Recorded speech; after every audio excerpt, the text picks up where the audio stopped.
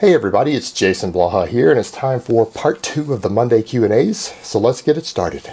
Is your novice program suitable for my brother to start out on at 15 years old? He is keen to get into the gym.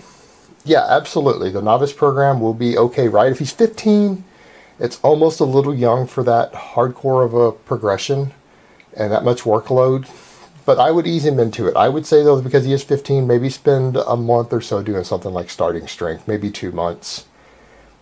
If you wanted to, to build a base and then put him into the program, or start him on it slow. Because the main thing is, is that you're getting into heavyweight relatively quickly, and you want to make sure that his body is ready for it because he, he's still a little underdeveloped. So maybe a month or two of training a little lighter, or something with a little less volume, or just keeping the weight relatively light, meaning don't increase the weight every session on him, maybe every other session, but after a month or two, he should be adapted and you can push him into the full program. But I don't have a problem with 15 there. All right, next question. What can I do to protect my rotator cuffs? They seem to be injury prone. All right, very simple. Rotator cuff work with bands, all sorts of stuff, face pulls, band pull aparts, around the world, just things to strengthen your rotator cuffs up. And of course, some of that includes rear delt work like the band pull aparts and the face pulls. You want to make sure your rear delts are strong because that's oftentimes a weak link in your shoulder joint.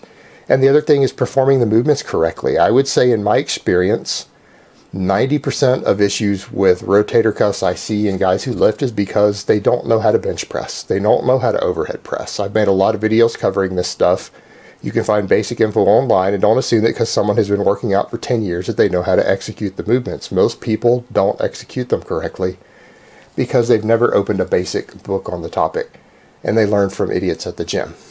But remember, elbow tuck, elbow tuck. That's your key. Keeping the bar low on the chest with the bench press, keeping the elbows tucked in tight for overhead press. False grips work well for that. The main thing is, is keeping elbow flare controlled. It's the main thing to preventing rotator cuff injuries. And saying that they're injury prone means you've injured them several times already, in which case you probably shouldn't be consulting someone on the internet. You need a physical therapist because I can't correct your injuries with this advice. This is just injury prevention. If you've already injured them, you might need surgery already. Or you might need special things that you have to do differently because you'll never have them functioning perfectly again. So this is something you need to be talking to a physical therapist about or a surgeon if you have injury prone ones, which means you've injured them multiple times now. You're probably screwed already. So you really need an expert to help you with this. All right, next question. Yo, Jase, during back movements such as rows, is it more beneficial to keep your scapula tightly retracted throughout or protract them during the eccentric motion? Well, if you want to work the full range of motion of the lats, you're going to have to protract them out because you're going to have to put a stretch on the lats, which means your scapula are going to have to pull apart.